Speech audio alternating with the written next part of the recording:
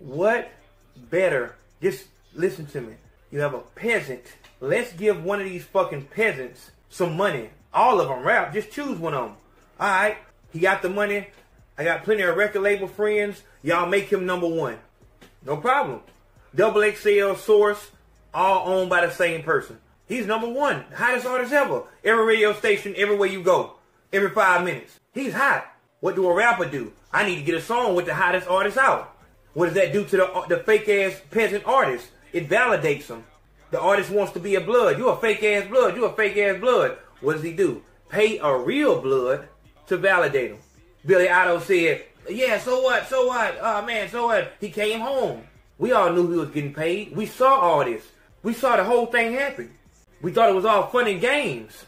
How is it all fun and games when there are actually crimes being committed? These are actual lives. How is it all fun and games? The rap trap doesn't just have to do with incriminating yourself on camera because you have to in order for people to believe you're actually what you say you are.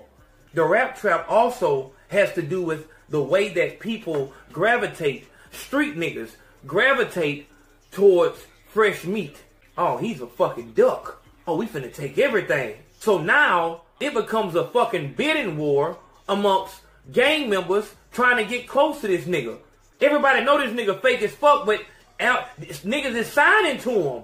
Fuck that. I, am finna get me some of this money just like hoes. Just like hoes in a strip club when, when, oh girl, you better go out there and get that money.